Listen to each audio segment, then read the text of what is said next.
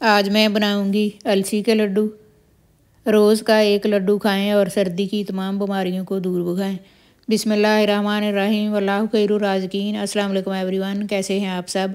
उम्मीद है आप सब खैरियत से होंगे और मान की बेहतरीन हालत में होंगे। मैं हूँ अंजम मनीर चौधरी और आप देख रहे हैं अंजम फ़ूड कॉर्नर। आज की हदीस शरीफ हज़रत मोहम्मद अलैहि वसल्लम ने फरमाया, नमाज़ दीन का स्तून है। बिसमीम तो आए अलसी की पिन्नी बनानी शुरू करते हैं। आधा किलो अलसी लेके उसको कढ़ाई में डाल के ड्राई रोस्ट कर लेना है।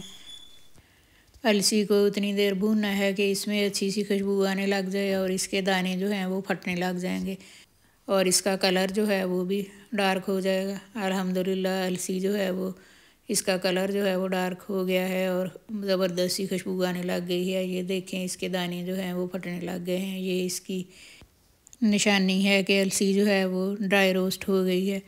अब इसको मैंने ठंडा करने के लिए परात में डाल लिया है। इसको थोड़ा ठंडा करने के बाद इसको मिक्सी जार में डाल लिया है। अब इसको दो बैज में मैं ग्राइंड करूँगी। इसको दरदड़ा ग्राइंड करना है, बहुत ज़्यादा बारीक पाउडर नहीं बनाना। है इस तरह की कंसल्टेंसी इसकी करनी है। दरदड़ा इसको पीसेंगे तो हर बाइट में से अल्हम्दुलिल्लाह अलसी का फ्लेवर आएगा। ये एक किलो गेहूँ का आटा लिया है ब्राउन आटा जिसकी हम रोटी पकाते हैं इसको भी ड्राई रोस्ट कर लेना है। ये अथेंटिक रेशो है जो मैं आप लोगों के साथ शेयर करूँगी वीडियो को एंड तक देखिएगा ताकि कोई भी स्टेप मिस ना हो। इसको भी ब्राउन करना है। अगर ये कच्चा रह गया तो आपकी मेहनत और पैसे ज़ाया हो जाएँगे। इसी दौरान अगर आपने अभी तक चैनल को सब्सक्राइब नहीं किया तो चैनल को सब्सक्राइब करें, बेल आइकन को प्रेस करें ताकि आने वाली हर नई वीडियो का नोटिफिकेशन आपको मिल जाए। लाइक और शेयर भी किया करें। फैमिली में फ्रेंड्स में शेयर कर दिया करें। यह आप लोगों की तरफ़ से ख़ास इनाम होता है। आटा जो है, उसको मैंने ब्राउन कर लिया है। इसमें से भी खुशबू आने लग गई है। यानी इसका कच्चापन जो है वो ख़त्म करना है। ये एक अहम स्टेप है कि आटा जो है वो कच्चा नहीं होना चाहिए। अब चूल्हा मैंने बंद कर दिया है और ये अलसी जो ग्राइंड करके रखी थी वो भी आटे के अंदर शामिल करके अब इनकी ज़बरदस्त सी मिक्सिंग कर लेनी है, यानी इन दोनों चीज़ों को यकजान करना है। अच्छे से अब मैंने इनको मिक्सअप कर लिया है। आटे को अब मैंने किसी और बर्तन में निकाल लेना है और इसी कढ़ाई में चाशनी तैयार करनी है। ये भी एक अहम स्टेप है। चाश बनाने के लिए सवा लीटर, यानी एक लीटर से ज़्यादा पानी शामिल कर दिया और साथ ये तीन पाव गुड़ लिया है।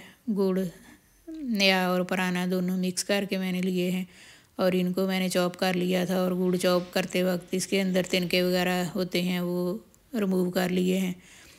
अगर गुड़ साफ़ ना किया जाए तो फिर मेल्ट करने के बाद उसको छानना पड़ता है ताकि जो तिनके वगैरह हैं वो रिमूव हो जाएँ। अब इसको चम्मच हिला के तो मेल्ट कर लेना है। ये चाशनी जो है, ये इस पिन्नी बनाने का अहम स्टेप है। ये दो तार का मैं शीरा तैयार करूँगी। अगर ज़्यादा देर के लिए रखनी है तो फिर दो तार का शीरा तैयार करना है ताकि पिन्नियाँ जो हैं वो ख़राब ना हों। अब ये चाशनी जो है वो अच्छी खासी पकने लग गई है, यानी दो तार का शीरा जो है वो तैयार हो गया है।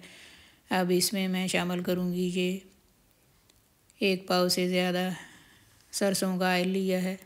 ये टिपिकल पिन्नी मैं तैयार करूँगी, इसलिए सरसों का ऑयल शामिल किया और ये नट्स में मूंगफली, ये खोपरा और साथ इसके ये चॉप किए हुए बादाम, ये तिल हैं, सफ़ेद तिल तिल और अलसी की पिन्नी का बहुत ज़बरदस्त कम्बिनेशन है। इसके बगैर अलसी की पिन्नी जो है वो कंप्लीट नहीं होती। आप इन नट्स को और तेल को भी दो से तीन मिनट पकाना है ताकि इनका फ्लेवर जो है वो इन्हेंस हो जाए। और चाशनी जो है वो ज़बरदस्त, परफेक्ट तैयार हो जाए। अब अलहमदिल्ला चाश जो है वो हमारी परफेक्ट तैयार हो गई है। इस स्टेप के ऊपर अब इसमें ये आटा जो मिक्स करके रखा था, गेहूँ का आटा और अलसी का, उसको शामिल करके अब इनकी मिक्सिंग करनी है जल्दी से। यानी तेज़ हाथों से इसको मिक्स कर लेना है। चूल्हा जो है वो अब मैंने बंद कर दिया है। अलसी जो है, इसके बहुत ज़्यादा हेल्थ बेनिफिट्स हैं। इसका इस्तेमाल सर्दियों में ज़रूर करना चाहिए। अगर जिसम में दर्द वगैरह हो या कमर दर्द हो तो उसके लिए ये बहुत ही बेनिफिशियल है। जोड़ों के दर्द के लिए भी बहुत ही मुफीद है। अब इनको मिक्स करने के बाद ये, इनको जब हाथ बर्दाश्त करने लग जाए तो इसकी जो पिनियाँ बना लेनी हैं, यानी अलसी के लड्डू तैयार कर लेने हैं। आधा किलो अलसी ली थी और एक के जी, इसमें आटा शामिल किया और तीन पाव के करीब मैंने गुड़ शामिल किया और गुड़ जो है वो अकॉर्डिंग टू टेस्ट शामिल करना है और सवा लीटर पानी चाशनी बनाने के लिए मैंने डाला और एक पाव मैंने सरसों का तेल शामिल किया। तेल जो है वो भी आप कम या ज़्यादा कर सकते हैं अपने टेस्ट के मुताबिक। ये अथेंटिक रेशो है जो मैंने आप लोगों के साथ शेयर की है। हेल्दी रेसिपी है, माशाल्लाह से देखें इजी और क्विक वे में मैंने इसके लड्डू जो हैं वो तैयार कर लिए हैं। इस तरह की इजी क्विक और हेल्दी रेसिपीज़ के लिए मेरे यूट्यूब चैनल का विज़िट करें और फीडबैक दें। अगर वीडियो अच्छी लगे तो लाइक और शेयर भी कीजिएगा और अंजम फ़ूड कार्नर को सब्सक्राइब भी कीजिएगा। आप लोगों का बेहद शुक्रिया। अलसी जो है इसके बहुत ज़्यादा हेल्थ बेनिफिट्स हैं और सर्दियों में बच्चों को भी ज़रूर अलसी जो है वो देनी चाहिए ताकि बच्चे जो हैं वो सर्दी से बचे रहें और जो घर में बुज़ुर्ग वगैरह हैं उनके लिए भी बहुत ही फ़ायदेमंद चीज़ है ये। Okay take care see you again next video अल्लाह हाफिज़. Thanks for watching